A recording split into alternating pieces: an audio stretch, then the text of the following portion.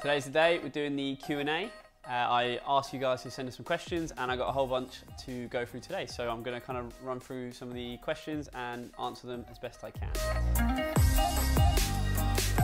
Started shooting weddings when I was 13, which is obviously super young, right? Kind of fell into it. I was shooting non-league football for a team and one of the players was getting married and he just asked me if I'd go along.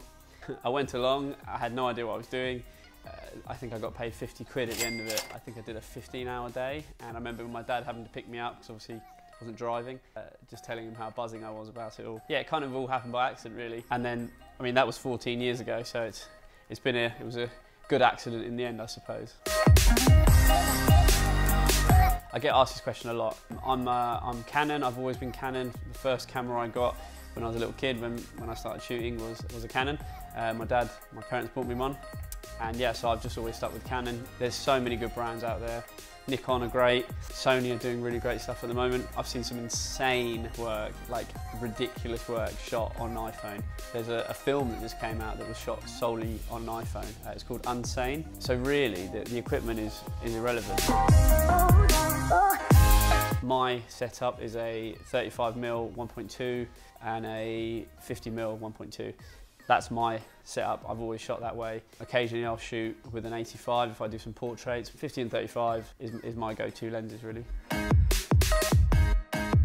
I don't select the images for people's weddings, so I upload all my stuff to Pixieset. It's a great online tool for photographers to manage all their images. So there's loads out there like Shootproof, Pixieset, Zenfolio, they, they all do the same similar kind of thing. What's really cool about Pixieset, uh, and I can only speak for the ones I've worked with, so you, you can upload the entire gallery and then your clients can go on there and actually select their favorites just by hitting a little heart button and then that builds a list which then you can work from when you do the album. So it saves me so much time. The other really cool thing about um, Pixieset is clients can go on there and purchase prints so I get a lot of print orders. It's super easy for them to use which again is great because it just means that it's going to encourage them to perhaps purchase more. Um, you should go check it out. It's a really, really good, good bit of, bit of kit.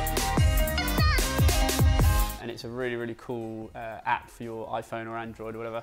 It's called Unfold. It's just a really cool template building kind of story thing. It takes no time at all to build a story and the layouts are great and it's just super, super simple to use. Super important for when you've like got a lot to do and you're trying to just get content out there. It's free as well. Super, it's a free app. So Unfold, check them out. If I was starting out now, I would definitely say contact as many photographers that you know locally or that you're willing to travel to and just get lots of information from them really. And if they're willing to have you second shoot, then definitely take that opportunity because that is the best way to to learn really, in my opinion. I did a degree in photography and the experience and the kind of knowledge that I gained in three years was surpassed by like doing a handful of weddings with a with a local photographer just because it's it's real life training it's kind of like you're you're actually out there doing it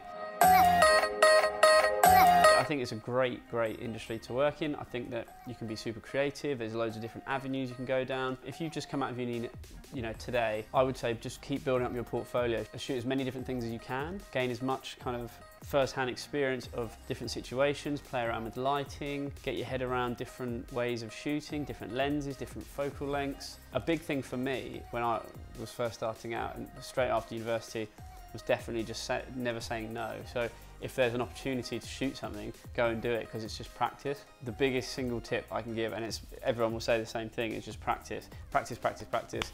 Get really good with your camera, really understand how it works. Learn your camera. Like, so for me, when I'm shooting something, I can pretty much not take my face away from the camera and I can change the settings and I know exactly what I'm doing in, in a split second, which is another reason why I'm, I'm uh, avoiding changing over to um, Sony or another brand because I know Canon and I've, that's all I've shot for 14 years so it's kind of like if I were to change systems now it would be a complete nightmare.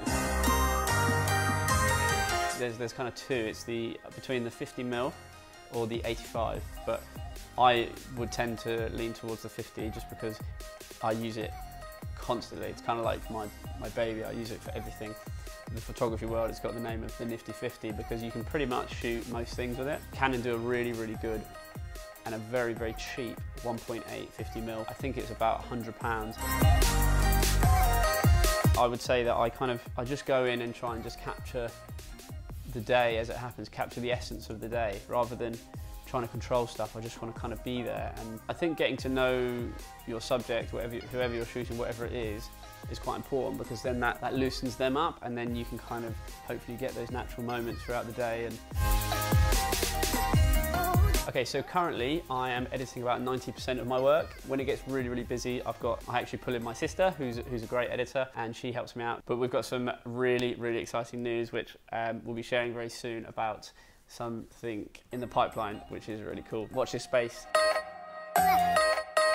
Again, talking about efficiency, for me, it's, it's finding software that speeds up processes and makes things easier and simpler and more fun. For the albums, I use Smart Albums. I have done for a couple of years now. My favourite thing about Smart Albums is the comment section that the couples can leave you. Once you've sent the album over to the couple as a kind of like on their proofing website, they can leave feedback under each page and then that feedback comes up as an email and then you can kind of make the changes and resubmit it to the couple. So it just it just streamlines everything and I think that's super important these days when you know, time is kind of your most valuable thing. So I work with a company called Folio. I have done for the past six years. Um, I remember getting my first album through the door and literally being blown away. It was such a beautiful product. These are Folio and they are just amazing. I'll link the video I did for this album here um, in the description. But aside from how good the quality is, the, the people that you work with at Folio are so, so, so helpful and they're just a really, really good bunch and it feels like a really, really nice team that you work with. I've been asked to go to different album companies by you know a few different brands and they've sent me samples and there's just no comparison. So if you are looking for the best album manufacturer that there is, speak to Folio. So I use Lightroom, like most people, and occasionally I'll, I'll, dip into Photoshop if I need to. But aside from that, it's mainly Lightroom, and I also use JPEG Mini when I export images to save a bit of space. So, and again, JPEG Mini is great, is a great product. So I've mentioned a few. I use Pixieset for my image uploading, for my kind of gallery gallery space. I use Lightroom to do my editing. I use JPEG Mini for shrinking the size of the images without losing any quality. And I also use Smart Albums, which I, which I mentioned about. So I, I studied photography at college. I kind of learned basics there and and then I went to university and again it was it was fairly basic stuff that they taught you. If I'm honest, the, the most I learned from was probably watching like YouTube videos and or tutorials online just to see how people set up their lighting. If you have an idea for a shoot that you want to do or a certain you've seen some cool lighting in it in something, if you Google that, I'm sure there'll be a video online for it. Yes, I mean, I, I photograph absolutely anyone, anywhere, anytime. I, have got no qualms with shooting same-sex weddings. I did a few last year, and one of my favourite ever shoots I did actually was in uh, Mykonos with a same-sex couple, Chandra and Jason, and um, we flew out there and did some photos in Mykonos, and it was, it was brilliant. They're just a lovely couple. And This is a great question. So for me, the variety is great. There's, you know, I remember there have been times where I've, I've shot football, and then the next day I've gone to shoot at a dentist, and then the next day I've shot a wedding, and then the next day I've shot somebody swimming. So what's really cool is it's, it's so varied. I, I, love that aspect of it, that it's never, it's never dull. There's always different things happening and different shoots in the pipeline and that kind of stuff. So that's really cool. And I love the traveling aspect of it. I get to travel lots and visit lots of cool places and meet lots of cool people and shoot lots of really interesting stuff. So I love tying in weddings when I get to travel. So lots of destination weddings. This year I've got seven weddings abroad, so which will be super fun all over Europe and, and stuff like that. So which is great. Just it just means that I can tie in my two loves. I get to travel lots and I get to take photos of people, which is what I love doing. You know, if I'm shooting a wedding, I, I love the social aspect of that. It just means that you get to really get involved in in such a lovely day and you know when everything falls together beautifully it's there's no for me, there's no better feeling. I, I absolutely love it. I come away from a wedding just buzzing. As long as I have that feeling, I'm going to keep doing it. The, the other thing that's really great about being a wedding photographer is that you get such fulfillment. And I, I don't know many other industries of work that you get that instant fulfillment that you've you've delivered something that is going to be really important to a, to a couple or to a family. You know, it's, it's sometimes you can forget that and you've got to kind of remind yourself what, what you're being a part of and, and it is it is much greater than just just a day it's this kind of like family historical event that you're, be, that you're kind of documenting. The other really cool thing about my job is the kind of camaraderie and the, the kind of the industry as a whole is really, really friendly. And that's something I love about it now is it's very, very open. So it's a super friendly environment for photographers to kind of integrate with each other and you know there's there's a million workshops you can go on these days which is great because you can learn so much in those kind of spaces. So for me that one of the biggest things is is what a friendly industry that it is. I'm going to be doing a video on all the kit that I use in detail so that will be coming up next. So thanks so much for watching guys